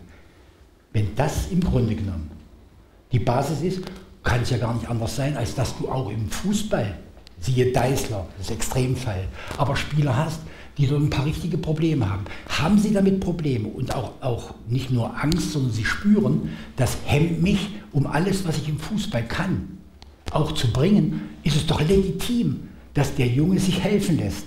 Und das ist von mir auch immer unterstützt worden. Aber einen, einen zum Teil Wichtigtuer, einen Mann zu holen, der in den Fußball einsteigt, Natürlich, weil Fußball interessant ist. Und da gibt es genügend in der Umgebung des Fußballs. Das muss nicht unbedingt sein. Aber gehen die Jungs selbst, so wie zum HNO-Arzt, wenn, wenn ich den, die Hilfe brauche, kann ich mir auch Hilfe für den Kopf holen. Und da braucht niemand drüber lachen. Es ist sogar sehr ehrenwert. Aber es muss nicht unbedingt in dieser Form. Ich würde damit sagen, dass er Diplom, diplomierter Psychologe ist. Ich bin Diplom, diplomierter Psychologe, nicht ganz so hoch. Er hat an der DFK, an der Hochschule gemacht und ich nur an der Universität in Jena. Aber auch damals haben wir schon daran gedacht, ob wir den einen oder anderen Fußballer verbessern, wenn wir seinen Kopf ein bisschen eine Hilfe geben. Also es war auch schon vor 30 Jahren ähnlich, deswegen hat er völlig recht. Dieser Fußball hat sich so sehr nicht geändert. Weder Spieler noch Trainer. Ein, ein Happel hätte immer heute, immer seinen äh, Platz gefunden, weil er ein ausgesprochener Fußballfachmann war. Und er hätte auch das sehr gut weggesteckt, dass einige Zeitungen sehr, sehr böse gewesen wären über die Art und Weise, wie er mit ihnen umgeht. Also eine Sache vielleicht noch dazu. Äh, man hört immer wieder jetzt, dass, äh, und das ist sicher was dran, dass die äh, junge Generation eben anders aufgewachsen ist, anders erzogen worden ist und dass sie nicht mehr nur trainieren, sondern gerne wissen wollen, weshalb sie das machen. Wenn das da ist, dieses Interesse, dann ist es immer sinnvoll, den versuchen, über die Schiene mit ins Boot zu kriegen. Aber am Ende, wenn einer nur fährt, dann muss er sagen, hey, dreht mal raus und wir machen das mal ein bisschen anders. Ja? Also sicher wollen die Spieler jetzt mehr wissen, das hört man auch immer wieder, liest man in der Zeitung und dass das äh, eben so jetzt wäre, äh, weil sie eben anders in ihrer Erziehung aufgewachsen sind. Aber trotzdem bleibt am Ende die Forderung, die erfüllt werden muss. Wenn sie nicht erfüllt wird, dann ist, wird die durchgezogen, ohne Rücksicht auf ihn zu nehmen. Ist er nicht für Leistungssport geeignet? Mal übertrieben gesagt. Wenn er immer nur wissen will, warum das und jetzt tut mir das weh, da könnte der Muskel eventuell und und und. Ja. Brauchen wir dann Sascha Lenze überhaupt? Auch für den Einzelfall natürlich. Für den, für den Einzelfall immer. Das keine, ist keine Frage. Super Aber sinnvoll. eben kein Pflichtprogramm und schon gar nicht für die komplette Truppe. Ja. ja. Und schon gar nicht zwei oder dreimal die Woche. Also dass man es eben irgendwo bei Bedarf hat. Und, und Entschuldigung, und dann ist es aber noch eine Sache, nicht generell, ob das gut oder schlecht ist, dann kommt es auf den Einzelnen an, dann kommt es ja. auf den Mann an. Und es kann ein richtig guter sein, der dir, der dir richtig hilft. Also die, die Qualität, sage ich mal. Wir haben vorhin so schön diskutiert über die alten Zeiten und ich habe ein Bild gefunden. Unglaublich. Hansi Kreischer und Hans Meyer. Es gibt also doch Bildhaftes. Das muss im Jahr 1967 im Mai gewesen sein und Dynamo gewann mit 1 zu 0 äh, das Spiel. Als Trainer haben sie es dann Dynamo zweimal gezeigt, im Pokalfinale gegen die SGD äh, gewonnen. Welche Erinnerung hast du an die Zeit, an dieses Duell vielleicht gegen Hans Meyer? Ja, zu der Zeit waren wir als Dynamo Dresden eine sogenannte Fahrstuhlmannschaft. Und ich denke, wenn das 67 war, sind wir sogar abgestiegen dann in diesem Jahr. Ja. Dann sieht das auch hier an, der, an dem Trikot. Und, äh, du, hast nicht, du hast nicht geschwitzt. Ich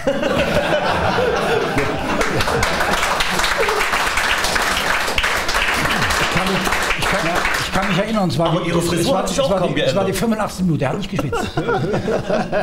ich, ich war so dünn, da gab es auch nichts zu schwitzen, im Gegensatz zu dir, du hast ein paar Kilo mehr drauf, für das alles aussieht. Aber hübscher, hübscher Bursche warst du früher, als du noch Haare hattest.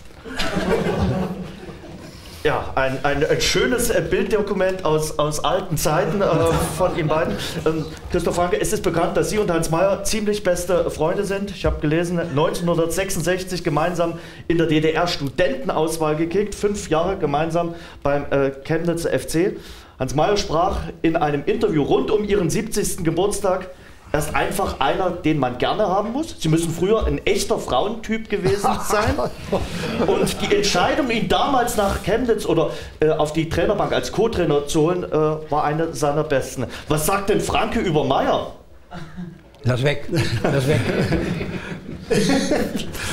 Soll ich ein paar Storys erzählen? Eine wäre ganz schön. er trägt mir heute noch nach. Also erstmal äh, natürlich äh, wir kannten uns und der Hans, als er nach Chemnitz kam, war das für mich gar nicht so einfach äh, oder für ihn nicht so einfach, mich als Co-Trainer zu bekommen. Oh, Gründe dahingestellt. Das ist weg. Ja, und äh, aber er wollte jemanden, der, was wir vorhin besprochen haben, den er kannte, wo er wusste, auf den kannst du dich verlassen und so weiter. Äh, die Story hier ist die, wir, wir waren im Camp und das trägt er mir heute noch nach. Äh, er war irgendwie unruhig oder ich weiß nicht, auf jeden Fall stand er mitten in der Nacht auf, war eine Mücke im Zimmer und jagte die Mücke und ich habe gar immer von unten Hans, dort, dort ist sie jetzt, da ist sie doch. Und das nimmt er mir heute noch übel, dass ich als Co-Trainer lag und ihn angewiesen habe, wo er zuschlagen soll. Welche Konsequenzen hat das gehabt? Äh, vielleicht nochmal, noch, lass mich noch zu Ende bringen. Äh, ich kam aus dem Nachwuchs. Hans ja. war Profitraining äh, vom Schorsch gewöhnt und hatte dort übernommen. Und ich denke, wir haben uns dort, und das hat er mir dann am Anfang hat er gesagt, also was du als Training, unter Training verstehst, äh, also ich habe viel technisch-taktisches Training gemacht, äh, das ist kein richtiges Training, wir müssen mehr Gas geben und so weiter. Im Nachhinein hat er mir mal gesagt, das hat sich schon befruchtet. Dass wir, ähm, ich habe meine Meinung gesagt, da ich aus dem Nachwuchs kam und, und ähm, viel Wert auf diese technisch-taktische Ausbildung gelegt habe und er kam vom Schorsch, wo eben nur Gas gegeben wurde. Aber den richtigen Mittelweg, denke ich, sonst hättest du auch in der Summe nicht so viel Erfolg und ich bin ein Teil davon gewesen. Das wollte ich so viel Erfolg Das wollte ich gerade fragen. Also abgesehen vom Mückenstreit, mal gezofft, richtig? Gab es da mal den großen Streit unter Freunden oder dass man sich über Fußballthemen manchmal sicherlich auch kritisch auseinandersetzt, ist klar, aber gab es mal Zoff zwischen Freunden? Nee, also das gab es nicht. Also nicht, nicht, nicht öffentlich, ich persönlich, mir, mir persönlich hat es schon ein bisschen gestunken, dass der, dass der, dass der, der, der Christoph, das hat, hat er eben gerade zum Ausdruck gebracht, eigentlich diese fünf Jahre erfolgreiche Arbeit in Chemnitz zu verantworten hat und ich habe mich immer in den Vordergrund gedrückt. So, so, war das. Nee, nee. Wie, oft, wie, oft, sehen Sie sich eigentlich, mal abgesehen vom heutigen Termin? Äh Zu den runden Geburtstagen 60, 70, demnächst wird es der 80. dran sein. Im Jahr zweimal. Ja. Telefonieren öfter. Sie haben vorhin schon gerade gesagt, äh, Sie haben mit dem Trainerjob seit 2009 dann aufgehört. Sie waren auf Weltreise, habe ich gelesen, äh, mit einem Versorgungsschiff von Tahiti nach Französisch-Polynesien. Auf welchem Fleckchen Erde, mal abgesehen davon, war es denn am schönsten bei der Weltreise? Das kann man schlecht sagen. Also ich sage mal so, ich habe es äh, vielleicht, vielleicht äh, aus, aus bestimmten Grund so empfunden. Ich war zur Fußball-Weltmeisterschaft in, in Südafrika, die vier, die vier Wochen, die ganzen vier Wochen und habe eine Woche vorher Deutsch Südwest besucht, Namibia. Und eine Woche nach der WM war ich in Botswana. Auf beiden Reisen und natürlich dann in Südafrika auch nochmal äh, im Krügerpark haben wir sechs, sieben, acht, aber fantastische Touren gemacht. Touren gemacht und, und Tiere gesehen. Und in 14 Tagen in Südafrika, in Johannesburg, ist meine älteste Tochter aus Brüssel mit meinen vier Fußballverrückten Enkelkindern gekommen. Und dass ich es mit denen dort gemeinsam noch hingekriegt habe, es war überragend, richtig schön. Was schätzen die äh, Enkel an Opa Hans am meisten? Ich weiß ja gar nicht, ob Sie überhaupt was schätzen. Ach, das denke ich schon. Also ich, ich sage mal, Sie sind schon ganz raffiniert. Ich will das mal, das, wir wollen über Dynamo Dresden reden und nicht über, über, über Hans Meyer.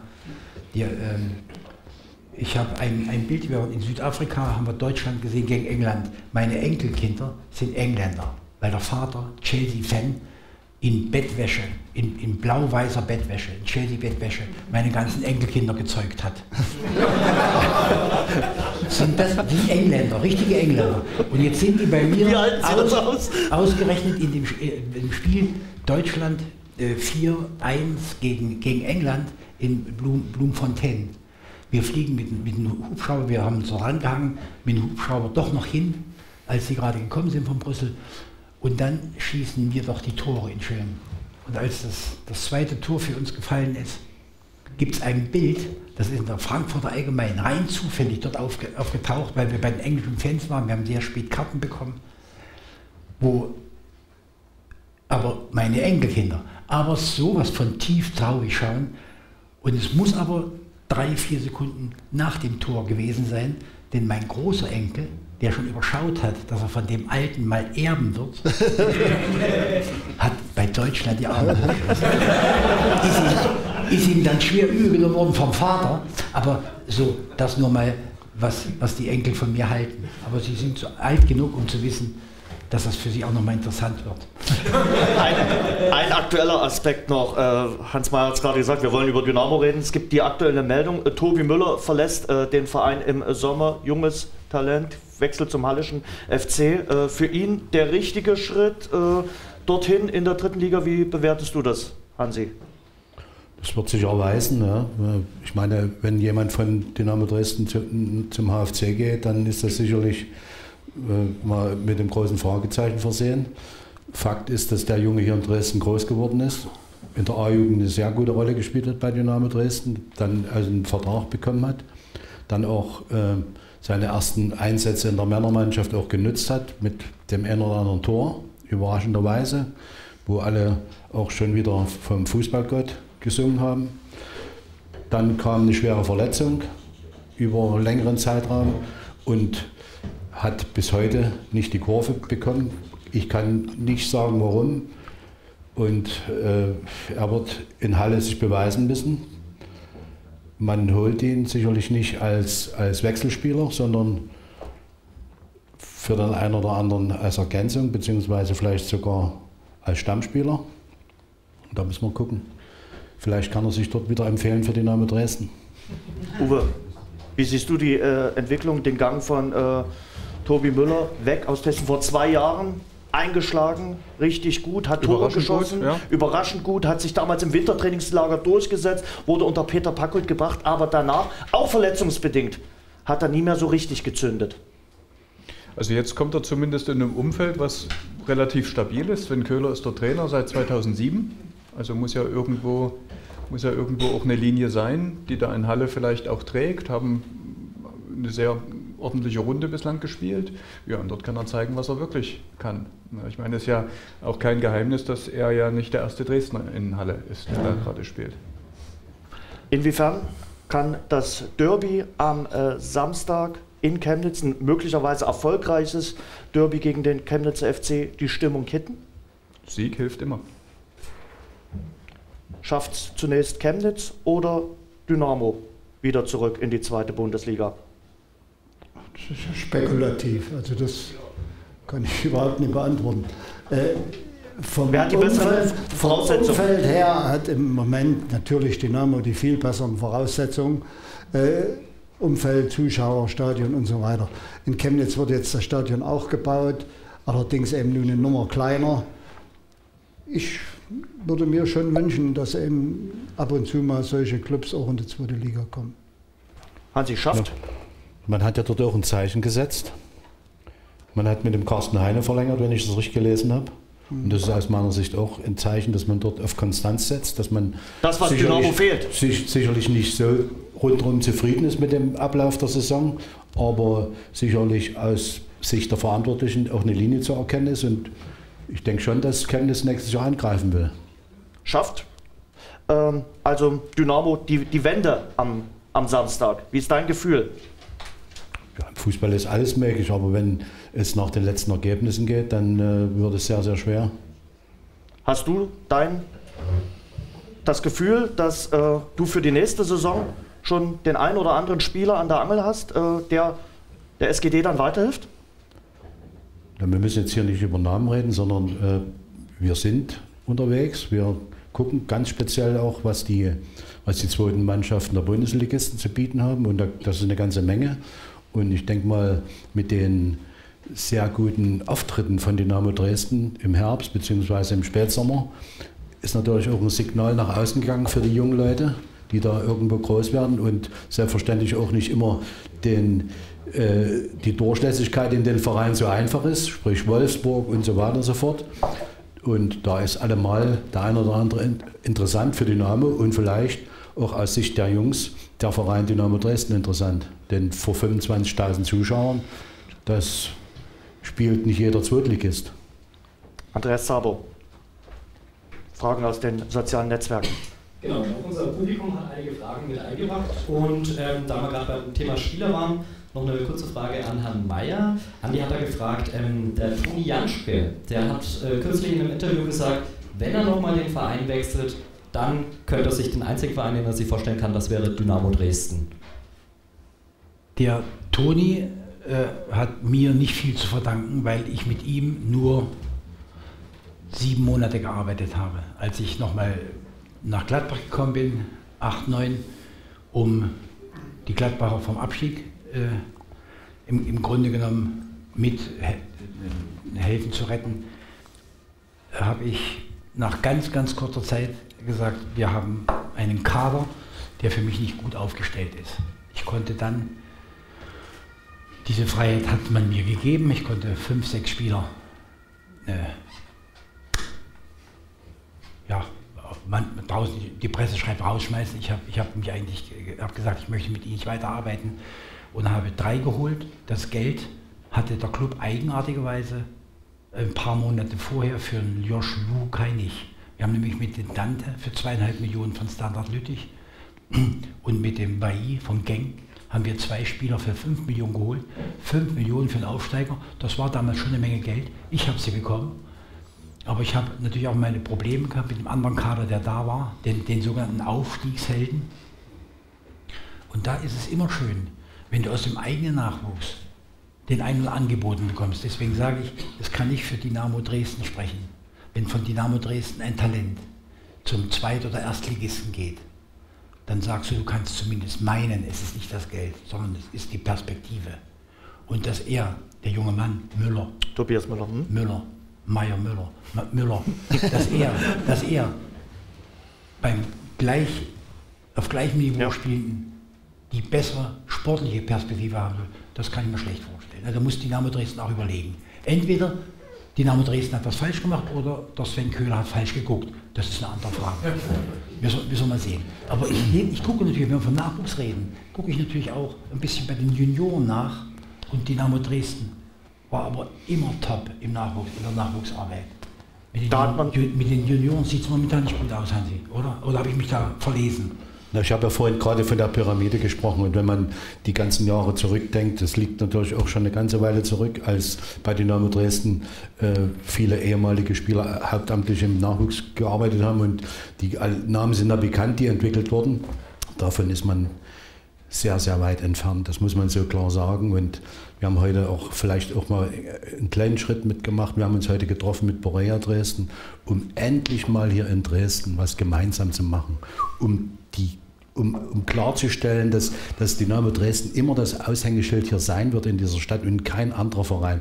Und dass sich die Vereine nicht unterordnen sollen, sondern möglicherweise über eine gute Basis mit Vertrauensverhältnis, wo auch der ein oder andere Verein davon profitieren kann, dass man hier mal gemeinsam was aufbaut. Ich spreche davon, dass das Ziel sein muss, dass Dynamo Dresden in der B- und in der A-Jugend als Aushängeschild in der Bundesliga spielen muss und das nicht nur mal ein Jahr und dann wieder mal nicht und dass man dann die zuarbeitenden Vereine auch unterstützt, dass zum Beispiel Borea, könnte ich mir vorstellen, als Unterbau oder als zweite Reihe fungiert. Denn wir wissen, im Nachwuchsbereich gibt es viele, die biologisch noch zurück sind, gute Fußballer sind, aber auch ihre Spielpraxis brauchen. Also das wird aus meiner Sicht höchste Zeit, dass in der Richtung mal, mal hier was passiert. Denn ansonsten wirst du in zehn Jahren genau noch so rumkräbeln. Und wenn man sich die Tabellen anguckt, ob das in der C-Jugend ist, die B-Jugend spielt momentan in den Aufstieg mit, Regionalliga, die A-Jugend, so wie es jetzt aussieht, steigt ab. Also da kann man nicht von, von guter Nachwuchsarbeit reden, wenn man sich an den Tabellen orientiert. Aber wenn ich hinten stehe, logischerweise habe ich dann auch in den Mannschaften nicht die Qualität, die die Garantie gibt, dass ich vorne mitspielen kann. Andi, Schlussfrage? Schlussfrage an Herrn Franke. Wir hatten ja jetzt schon mehrfach die Feldarbeit. Ähm, Tom äh, bzw. André hat die Frage gestellt, wie geht es denn eigentlich aktuell den Kanickeln? also ich hatte dieses Jahr, wenn ich kleine, wenn ich aus, ausholen kann, ein bisschen Probleme. Der Rammler ist, um Gottes Willen. Der Rammler ist gestorben, der war aber auch schon alt. Und da hat sich das verzögert mit, den, mit, den, mit dem Nachwuchs. Aber am Freitag habe ich den ersten äh, Junghausen bekommen. Also es geht sehr gut. Du und dein Haustier. Nee, äh, und, und, mein Freund von mir holt heute einen neuen Rammler. Na, hoffentlich äh, hält er durch. Äh, Hans Meyer.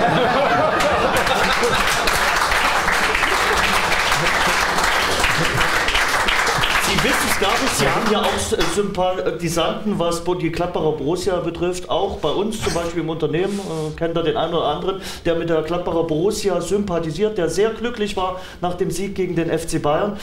Darf der nächste Saison von der Champions League träumen? Haben Sie Ihren Anzug ja, schon aufgebügelt? Aber, aber, träumen, das ist doch, erstmal fand ich es sehr, sehr, wichtig für die ganzen Fans, die, die, die zuschauen, das mit dem, mit dem Rahmen von Christoph. Das, das, war eine konkrete Frage. Habe ich auch nicht gewusst, sehr interessant für, für, für, für Fußballfans. Äh, Tatsache ist, dass, dass äh, den, den, Fans das Träumen zu verbieten, das wäre aber Gift ohne Ende. Das möchte man, diese Freiheit möchte äh, man ihnen schon lassen. Aber die Situation ist natürlich momentan so, dass wir an dritter Stelle stehen und Schalke als, als die Mannschaft, die auf einem, auf einem Platz steht, der berechtigt, international zu spielen, aber natürlich auch von unserem Platz jetzt schon, ich glaube, sechs oder sieben ja. Punkte ent, entfernt ist. Dann, was wären wir dann für eine Scheißtruppe? Wenn wir bisher so gut äh, die Sache gemacht haben, wenn wir dort nicht mit diesem Trainer zusammen und mit, dem, mit, dem, mit einem Präsidium, was immer sehr, sehr die, die, die Flamme flach hält oder den Ball flach hält, äh, nicht doch diese Chance vielleicht wahrzunehmen, etwas Sensationelles zu packen. Ich, ich bleibe der Meinung, dass Borussia Mönchengladbach einen Spielerkader hat, der immer spielen müsste zwischen 8 und 5 momentan. Das ist ja schon mal etwas Großartiges, denn wir haben ja lange Jahre hinweg immer wieder äh, eine Mannschaft gehabt, die gegen den Abstieg gekämpft hat. Aber wenn man, das hatte Christoph vorhin richtigerweise gesagt, wenn man irgendwo die Chance hat, aufzusteigen oder mal so etwas zu erreichen, dann soll keiner kommen. So gibt es natürlich auch diese pessimistischen Fans, die fragen auch, wäre das nicht zu früh? ja, gut, es wäre zu früh, das, sag, das sagst du dann vielleicht als Alibi, wenn du zum Schluss Siebter wirst. Du sagst, es wäre sowieso zu früh gewesen. Aber das, was im Raum steht, dieses, dieses angeblich zu früh, ergibt sich vielleicht nie wieder. Das ist im Fußball so. Also ich sage mal so, die, die Mannschaft ist insgesamt auf einem richtig guten Weg und da kann schon mal der eine oder andere Fan richtig davon träumen, kann schon mal die, die Flugscheine buchen. Aber äh, ich glaube, dass die Mannschaft auch objektiv in so einem Zustand ist, dass wir trotz schweren Programms, wir, wir spielen noch sehr, sehr komplizierte Spiele, haben aber fast alle auf eine andere Art und Weise, dass wir das erfolgreichste Jahr nach sehr, sehr langer Zeit absolviert. Im Pokal sind wir übrigens auch noch drin. Definitiv.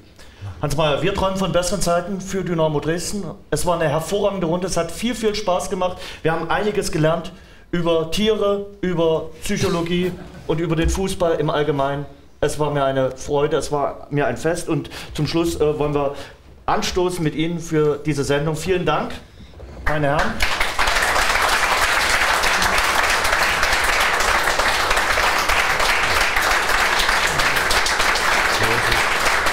Und natürlich vielen Dank auch an Sie. Hervorragendes Publikum hier im Schillergarten am Blauen Wunder und wir sehen uns wieder. 1953 der Dresdner Fußballtalk. Wir sehen uns wieder am 20. April und dann sprechen wir über die Torhüter, über die Torhüter bei Dynamo und was es da für Entwicklung gibt. Vielen, vielen herzlichen Dank und.